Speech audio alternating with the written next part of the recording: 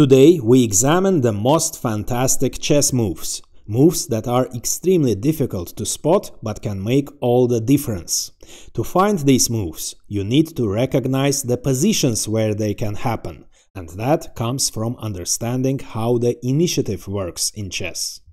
This concept is described in Isaac Lipnitsky's remarkable book Questions of Modern Chess Theory, and a quotation explaining it is shown on the right side of your screen. The game we are analyzing today shows how we can spot the greatest moves by applying the concept of initiative. So let's dive in. Lipnitsky's opponent starts with d4, Lipnitsky plays knight f6 and after knight f3 and e6 white goes for the Colle system, e3. The idea is to reinforce the d4 pawn with c3, after which white is going to take under full control the crucial central e4 square by developing the bishop on d3 and the knight on d2, and after castling, when the right time comes, white is going to break in the center with e4, opening the bishop's diagonal and ideally initiating an attack on black's kingside. d5 followed, bishop d3, Lipnitsky attacks the central pawn with c5, White reinforces the d4 pawn with c3, and after knight c6, knight d2, bishop d6, both sides castled. Now that white has the full control over the e4 square, he might think about the e4 advance. But if he plays e4 right away, opening the bishop's diagonal and threatening to push the pawn to e5, forking the bishop and the knight, black can simply capture on d4, so white cannot play e5, he must first capture on d4 and after that black will capture on e4 too and after knight takes e4 as you see white will stay with an isolated pawn and will have no advantage. For this reason instead of the immediate e4 advance uh, white in order to prevent the creation of an isolated pawn on d4 first exchanges the pawns and only after bishop takes c5 he plays e4 not only opening the bishop's diagonal but also creating a possible threat of e5. If the white pawn invades the e5 square, it will put pressure on black's position, kicking out the knight from f6 and opening the bishop's diagonal. So that might be quite dangerous. White can initiate a very strong attack on the black king in this case. For this reason, uh, black must mm, think about ways of preventing it.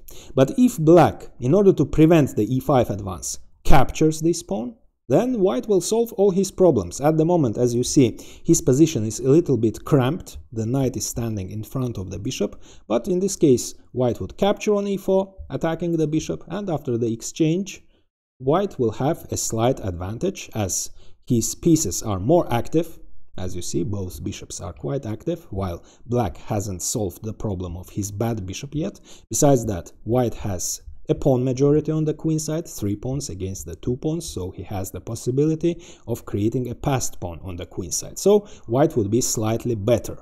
For this reason, after white pushed the pawn to e4, instead of capturing on e4, in order to prevent the advance of the pawn to e5, Lipnitsky plays queen c7, taking the e5 square under control. White renews the threat, queen e2. The queen supports the possible advance of the pawn. That's why one more time Lipnitsky prevents it by playing knight g4. Now both black knights, together with the queen, control this square. White kicks the knight out of g4. Now if the knight retreats to f6, then of course white will push the pawn. That's why the knight moves to e5, attacking the bishop. In order to uh, retain the bishop, uh, white retreats it to c2 and now black tries to solve the problem of his bad bishop. He plays b6, preparing the fianchetto of it. White increases the pressure on the e-file, rook e1, creating an immediate threat of e takes d, after which the black knight would fall under attack. It will be attacked three times. For example, if black carelessly plays bishop b7, white would capture and black doesn't have time to recapture as his knight is under attack, so black would be forced to exchange the knights first with a check, but then again white would solve his problem. He will play knight takes f3, opening the bishop's diagonal, and after black recaptures, white would execute a standard sacrifice. He will um, initiate a devastating attack with bishop takes h7 check. And after king takes h7 knight g5 check. If the king moves to g8 then after queen h5 there is no defense against the checkmate so the king must move to g6 and he will become a target of a terrible attack. For this reason after rook e1 as white is threatening to capture on d5 to prevent this Lipnitsky pushes the pawn forward to d4 White exchanges a pair of knights, knight takes e5, knight takes e5, then he captures on d4, and after bishop takes d4, the white bishop is under attack, but white prepared knight b3, defending his bishop and attacking the black bishop in his turn. And we have reached the critical position where black has a fantastic move, a hidden move. But how are we supposed to know that it's exactly in this position black must have this great move? In order to recognize these positions, we must know how the initiative works. At the moment, it's clear that black has the initiative because he has great centralized minor pieces. The bishop is putting pressure on white's king side, pinning the f-pawn. The knight is um, occupying a great blockading central square. The black queen is very strong, putting pressure on the c-file, targeting the bishop and tying the white queen to its defense. Besides that, the black queen is also targeting white's king side, while white in his turn hasn't developed his queen side yet. His bishop is passive, is bad, as it's restricted by its own pawn. And his queen and rook are also passive. They are placed on the closed e-file. So it's clear that black has the initiative. However, black also has a problem. His bishop is under attack. And if black makes the obvious move, bishop c5, then he loses the initiative and initi initiative passes to white. White would have captured the bishop and after queen takes c5, white already has the advantage of two bishops. He develops his bishop with a tempo, and after the queen retreats, let's say to c7, white finishes his development with rook c1 and uh, gets a better position. So white would have, uh, black would have lost his initiative in this case. So if black has the initiative at this point, and obvious moves lose it, the obvious bishop c5 loses the initiative, that means there must be a hidden great move that maintains and develops the initiative. And the knowledge of this concept helped Lipnitsky to find the great unexpected hidden move. And you can pause the video and try to find it too. What to do? The bishop is under attack.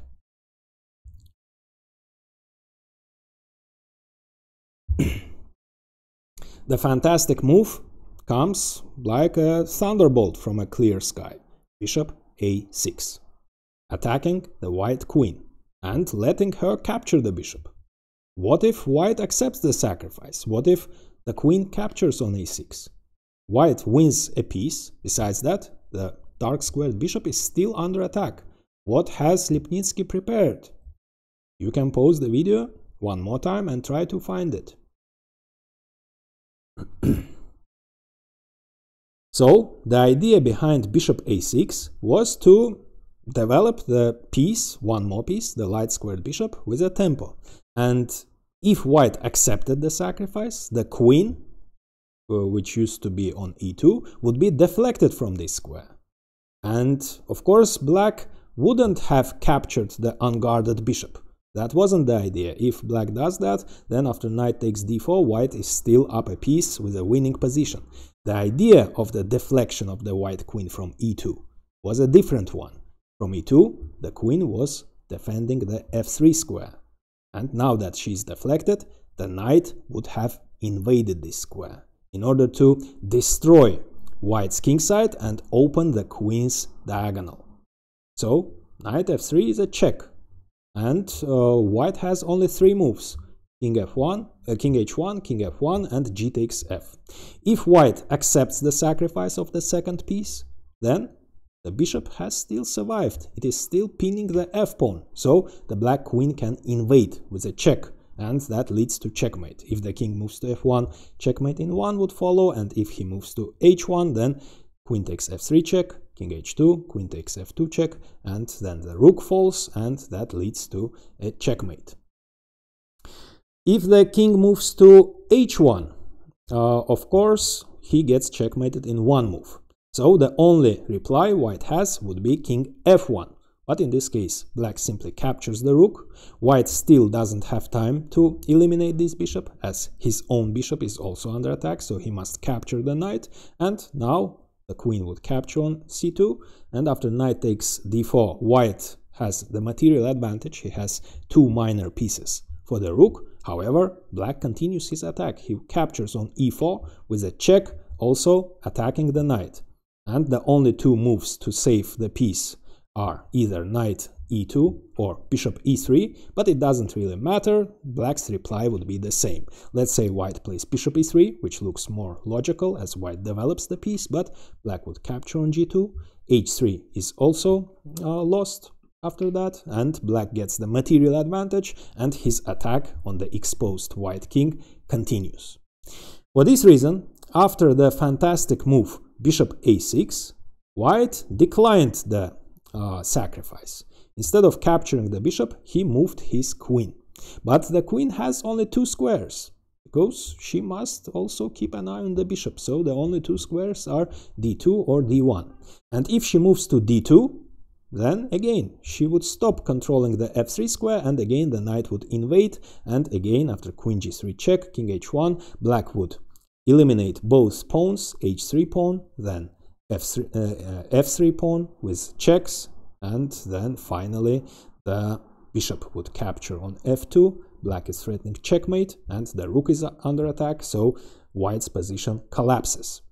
For this reason the only uh, move after bishop a6 as uh, queen takes a6 or queen d2 doesn't work is queen d1 from d1 the queen defends the bishop and keeps an eye on the crucial f3 square so black managed to increase his initiative with bishop a6. Now he has one more developed piece, the light squared bishop. However, he still faces the same problem. His dark squared bishop is still under attack. And if it retreats, again the initiative would have passed to white. After knight takes c5, white again would get the advantage of two bishops and would finish his development. So Again, that means uh, after queen d1, black must look for some hidden opportunities. So what to do? His bishop is under attack. You can pause the video and try to find it.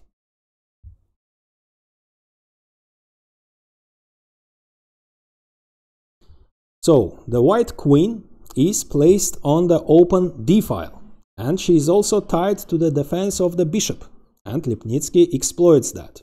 If the bishop cannot retreat, if that leads to the loss of the initiative, that means it's time for drastic measures, as Lipnitsky writes.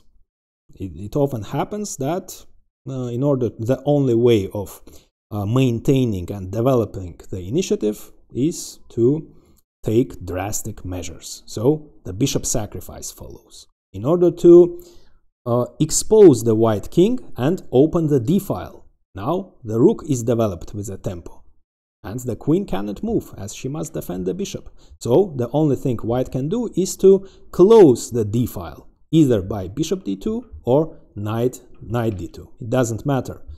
The minor piece on d2 will be pinned, and that will be very unpleasant. Of course, it doesn't make much, much sense to play knight d2, as the knight would close the bishop's diagonal and white would have difficulties in finishing his development. Black would develop the second rook, again with a tempo, threatening to capture the bishop, and the bishop must defend the d3 square, otherwise the black knight would invade with a check.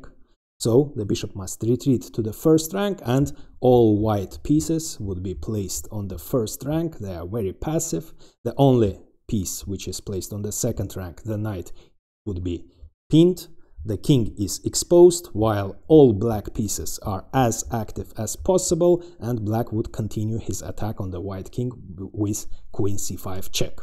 For this reason, after rook d8, instead of knight d2, white plays bishop d2, which is a stronger move, vacating the c1 square for the rook. Now, if black makes the natural move rook c8, white would defend his bishop with rook c1, creating an unpleasant x-ray. And again, white would have seized the initiative in this case. For this reason, instead of rook c8, Lipnitsky plays knight c4, putting more pressure on the pinned bishop. And he's going to get his piece back, after which he will be up a pawn. He's threatening to capture on d2, and after knight takes d2, queen f4 check, and the queen will also target the knight. For example, if white makes the obvious move rook c1, then after knight takes d2, knight takes d2, queen f4 check, king g1, black captures, getting the piece back, he's up a pawn, his rook is dominating the second rank, black is winning. For this reason, in order to prevent the invasion of the black queen on f4, white plays e5, closing the diagonal and opening his bishop's diagonal. Lipnitsky captures on d2, and after knight takes d2, white is still up a piece, but all black needs to do to get his piece back is to attack the pinned knight for the second time by the queen. So queen c5 check, which will be followed by queen b4, and the knight will be lost. Rook e3 followed and queen b4. So what should white do now? The knight is under attack and black is threatening not just get the piece back, but also win the white queen after rook takes d2 check. If white defends his knight with king uh, e1, then black has a strong move, queen d4, centralizing the queen, attacking the rook, and what should white do now? He has no moves. Queen e2 uh, is impossible to defend the rook as the bishop controls this square. Queen f3 doesn't work either because of queen takes d2 checkmate. How else can white defend the rook? If knight f1, then black would move the queen away from the d file with a tempo, with a check, opening the rook's way, and white is losing the queen. And finally, if uh, if after uh, after king e1 and queen d4, white moves his rook, it doesn't really matter where, let's say to e2, the, the black queen invades g1 with a check, and again, that would be the end. But white found an interesting opportunity. He, instead of king e1, he sacrifices the bishop. And if black accepts the sacrifice, white would unpin his knight. So he would get a chance to move his queen away from the d file with a tempo, and after king g8, it's true, the knight and the b2 pawn are under attack, but white can defend both weaknesses with knight b3, and materially the position would be equal. Of course, positionally, black has some advantage on account of a more of more active pieces, but white can continue the resistance. For this reason, instead of accepting the sacrifice, Lipnitsky moves his king to f8 and he still is threatening to capture on d2, winning the white queen. That's why king g1 followed. Now black of course could have captured on d2 right away, but as the knight is doomed anyways, Lipnitsky first wins a pawn. White finally unpins his knight by queen c1 and only now black captures the knight, threatening to capture on g2, that's why white is forced to exchange the queens, and black transitions into a winning endgame, where he has an extra pawn and a very active rook, which is dominating the second rank. The a2 pawn is weak. The rook is tied to the defense of this pawn. Black has the pawn majority on the queen side, two pawns against the one pawn, so he will have the opportunity to create a passed pawn. So it's a winning endgame. But unfortunately, Lipnitsky got into time trouble and couldn't convert his extra pawn. The game ended in a draw. But now I recommend watching Lipnitsky's Brilliancy Prize winning masterpiece, where he gradually develops the initiative, paralyzes his opponent, and finishes the game with a beautiful checkmate. But first like this video and subscribe, as it's really helpful for the channel growth.